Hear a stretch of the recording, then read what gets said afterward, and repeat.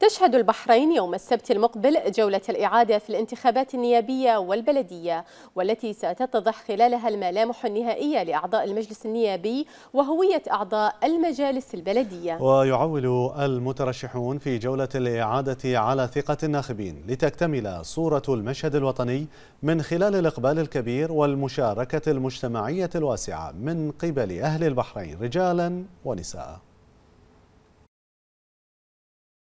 بعد نجاح الجولة الأولى من الانتخابات النيابية والبلدية 2022 من حيث التنظيم وإقبال الناخبين على مراكز الاقتراع بنسبة مشاركة شعبية وصلت إلى 73% جاءت النتائج واقعية لتفرز عن إقامة جولة إعادة أخرى السبت المقبل ينتظر منها أن تتضح من خلالها الملامح النهائية لأعضاء المجالس النيابية الأربعين وهوية أعضاء المجالس البلدية الثلاثين بتمام المقاعد.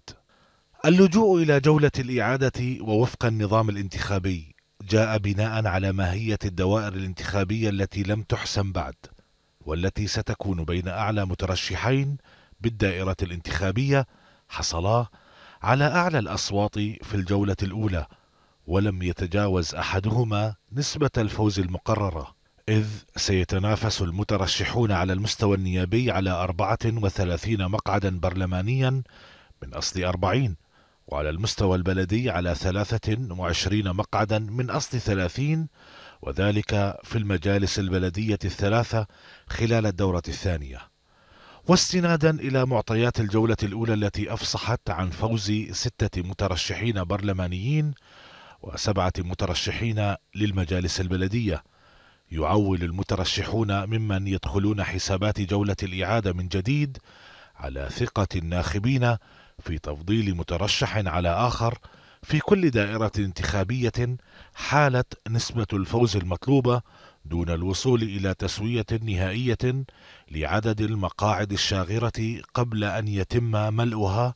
وقتما يعاد المشهد بتفاصيله الوطنية الرائعة من خلال الإقبال الكبير والمشاركة المجتمعية الواسعة في الجولة الثانية من الانتخابات النيابية والبلدية من أهل البحرين ومن مختلف الأعمار رجالا ونساء ليتحقق فوز الجميع من أجل أرض الخلود خصوصا إذا كان الحس الوطني حاضرا بنسبة عالية وبكل المقاييس. ليتم توثيق الإنجاز ويصبح شاهدا على انتصار خيار المشاركة بإرادة شعبية حرة ومستقلة.